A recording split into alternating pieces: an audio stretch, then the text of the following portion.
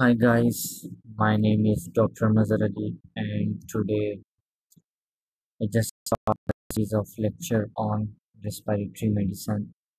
So today this is my first lecture on respiratory medicine.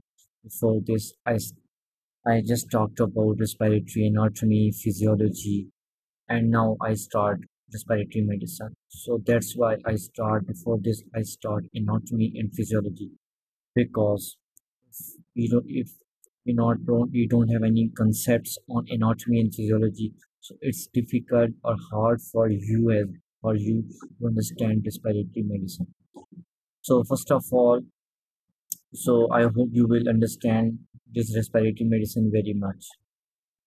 So so first topic will be in respiratory medicine is a chronic obstructive pulmonary disease.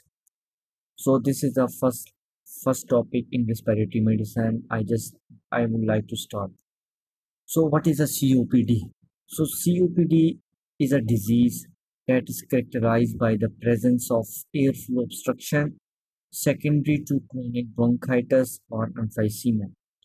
So, usually airflow obstruction is progressive. It means that they just severe day by day and it's not stopping. So lungs function become impaired, but it can be reversed if we use some bronchodilators, some steroids we use. So this condition can be reversible, but not fully. Okay. Sometimes patient may present both the feature of chronic bronchitis as well as emphysema. So this chronic bronchitis and emphysema collectively make a COPD. So maybe some patient can present both the clinical features of both condition and maybe some patient present just chronic bronchitis feature and other patient for example if you have two patients so maybe one patient can present to you with the clinical features of chronic bronchitis and other patient present to with the clinical features of emphysema so this is how the copd present the disease in the patient body. So in the COPD patient, you can see in the picture, this is a chronic bronchitis and this is an emphysema. These two diseases make COPD. So what is a chronic bronchitis? Chronic bronchitis is simply defined as the inflammation of bronchi. Inflammation of bronchi, that inflammation lead to the excessive mucus formation as well as lead to the inflammation inflammation going on in the wall of bronchi that lead to the obstruction of these bronchial. This is the normal healthy bronchi and this is the inflamed bronchi. So inflamed bronchi, this is the high this is the hypertrophy of mucus secreting goblet cell. Goblet cell present in the bronchi. So there is a hypertrophy as well as increase the number of mucus secreting cell so this is the main pathology of the chronic bronchitis. So how this when this inflammation going on, see, lumen become not obstructive, but in the inflammation when going on, lumen become obstructive. When lumen become obstructive, this is obstruction. So that's why we call chronic. That's why we call obstructive lung disease. In the other hand, if you see the emphysema, this is a healthy alveoli. This is the emphysema. What happened in emphysema? There is a destruction of elastic tissues outside the alveoli. This is the alveoli and this is the boundary of alveoli. So there is a destruction of elastic tissue that lead to the destruction of alveoli. So alveolar membrane membrane breakdown. So it lead to the emphysema. So when there is a destruction, so it can also lead to the when destruction. So alveoli become enlarged, air trapping inside alveoli, and there is no exit or entry proper of air. It can lead to obstructive lung disease. Okay. Now I talk about the chronic bronchitis. What's the chronic bronchitis? So it is simply defined as the chronic bronch chronic productive cough that lasts for three consecutive months for at least minimum two years. For at least two minimum years and three consecutive months productive cough.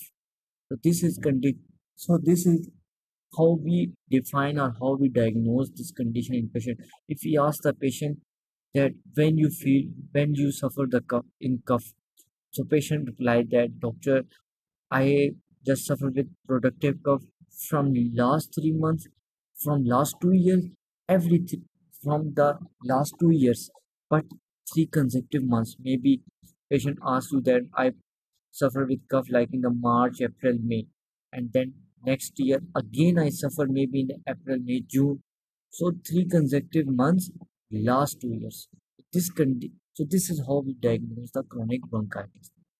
This condition is highly associated with smoking. So smoking is the major risk factor for chronic bronchitis, for the development of chronic bronchitis. So maybe if someone asks you that what's the major risk factor for chronic bronchitis, you can simply answer that smoking. What's the pathology? What's the pathology going on? So to understand the pathology is very important. Okay. So pathology is that there is a hypertrophy of mucus secreting glands and increase in the number of goblet cells in the bronchi and bronchioles with decrease in ciliated cells. Therefore, increased mucus production and less efficient transport or clearance of mucus in the airway. So mucosal edema and permanent structural damage. That this ciliated cell become less. What's the function of this ciliated cell? Just to expel the mucus, expel any harmful material like any toxin, any bacteria from the lungs to the outside environment. When ciliated cell become less, clearance of mucus become less. When clearance of mucus become less, so mucus accumulate in the bronchi, and this is a good environment for bacterial infection. That's that is how the pathology is going. Now, what's the emphysema? Emphysema already talked about in the diagram. Now, what's the definition? It's the destruction of alveolar air sac due to the loss of elastic tissue that present around the alveoli. So during exhalation, lungs collapse because there is no elastic tissue that maintain alveolar proper shape. So obstruction and air trapping occur. So total lung capacity increase, but because the loss of alveoli lead to decreased gas, decreased gas transfer, gas exchange. So when TLC increase, but there is no proper exchange of gases occur between alveoli and alveoli. So this, so this is how emphysema affects the normal breathing and gas exchanges. Okay.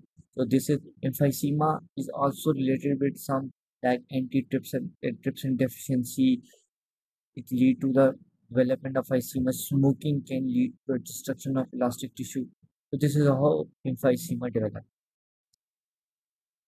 See, this is the normal, this is the emphysematic. This is the normal mean proper alveoli elastic tissue around. But here there is a destroy. Alveoli affected by eczema. So this is how alveolar wall become infected and they become enlarged. So this is very important to know. Now to know the compare to know the what's the difference between chronic bronchitis and emphysema is very important. So chronic bronchitis, bronchitis, I just shortly write bronchitis. It's a chronic bronchitis. Okay. Chronic bronchitis we also call blue bloaters. Why? Because due to cyanosis. That's why we call blue bloaters. So what's the comparison? First of all, I talk about bronchitis. Bronchitis is the protective cough with chest infection because mucus accumulate. It can lead to chest infection it, is present in 30 years of age and 40 years of age and patient usually overweight overweight maybe patient already have some diabetes already have diabetes mellitus hypertension ischemic heart disease or any vascular pathology cyanosis is common and peripheral edema due to cor pulmonale what is cor pulmonale due to the obstruction due to obstructive lung diseases lead to the vascular constriction when vascular constriction happens so it lead to the right ventricular hypertrophy. When right ventricular hypertrophy this is we call what?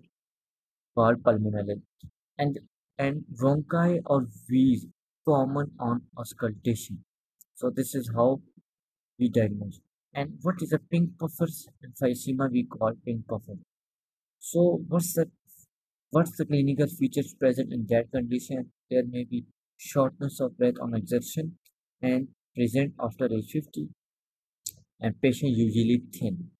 And weight loss, patient use accessory muscles of respiratory but no synovial. Which muscles? Sternocleidomastoid muscles, intercostal muscles, scalene muscles. No wheeze, breath sound reduced. No wheezes. You cannot see wheeze. You cannot uh, on auscultation you will not find any wheeze and sound may be reduced.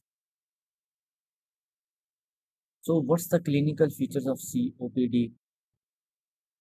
There is a cough that can be productive and chest tightness, chest pain, shortness of breath online. When shortness of breath online we call orthopnea as well as shortness of breath on exertion, on heavy exertion. This is also typical feature for COPD. Investigation we do chest X-ray. Now I talk about X-ray. So X-ray PAV findings, what you find on the X-ray, there is a low flat diaphragm. Low, normally it's a dome shape, but in the COPD, this is a low flat diaphragm and prominent pulmonary arterial shadow. This is a pulmonary arterial shadow. This is and hyperlucency. What is the meaning of hyperlucency? More blackish due to excessive air in the lungs. Clavicle proper, trachea proper this is the heart shadow mediastinum. Okay so this is the ribs. Now pulmonary function test. That uh, what secondly this first test x-ray now talk about pulmonary function test. In pulmonary function test we do first of all we do spirometry. Spirometry in which we ask the patient to take a deep breath and then forceful expiration one minute so FEV1 and our FEVC normal is 80%. If less than 80%, for example, if patient blow, but it cannot blow fully in one second, so it indicate pathology and peak expiratory flow meter that will be reduced. So this we commonly use in the pulmonology ward peak expiratory flow meter. Same here in the spiral, but here we ask the patient to inspire the air and then to and then first of all inspire the then expire enough forcefully. So you just check on the meter what's the uh, normal it's breathing okay? And we we send sputum for css just to rule out streptococcus pneumoniae or influenza virus. And do ecg to rule out cor pulmonale. The cor pulmonale if there is a cor pulmonale that is a tall p wave on ecg and we check echo do echo for checking heart condition. What's the condition of heart? What's the differential diagnosis? The differential diagnosis of COPD, in COPD, your differential diagnosis can be bronchial asthma, bronchiectasis, cystic fibrosis, and mechanical obstruction of central airway. So, if patient come to you with COPD, you can rule out these conditions. If there is condition not present, diagnosis will be COPD. Now, what's the management? Very important part of this lecture. What's the uh, the first management will be just to quit the smoking because smoking is a risk factor for chronic bronchitis. Oxygen therapy like give oxygen to the patient, bronchodilator like ipratropium that is what anticholinergic, sympathomimetic like Ventolin, and oral theophylline like thiopurine is third line minimum. So theophylline we just say for third line minimum because it is also very toxic toxic drug. And oral steroid like Deltacortril and chest physiotherapy. Very important. We do chest physiotherapy just to relax the just to exercise the respiratory muscle and diuretics if cor pulmonale is present. This is uh, how we provide oxygen to the patient. This is the non-invasive oxygen mask just to maintain the saturation of oxygen. This is how we use the oxygen mask in the patient. And this is the nasal cannula. In previous diagram, and these both are non-invasive. This is a nasal cannula. This is not a face mask. This is a nasal cannula. We provide oxygen to the patient. And in the previous, we use a face so that's it guys that's it for today lecture so this is about COPD. So in my next lecture, I will talk about asthma. So this is the first lecture of respiratory medicine. Now next lecture, I will talk about asthma. Thank you guys. I hope you understand very well. So see you next time. Thank you. Have a good time.